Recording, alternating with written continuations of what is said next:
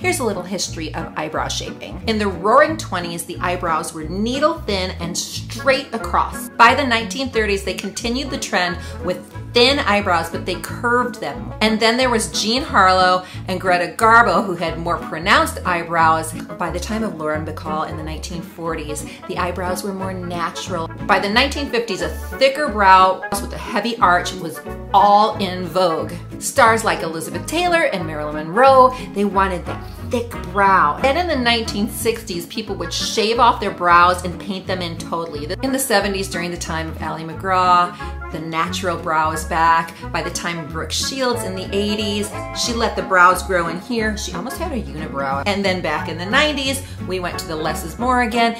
Today, it's whatever you want your eyebrows to be.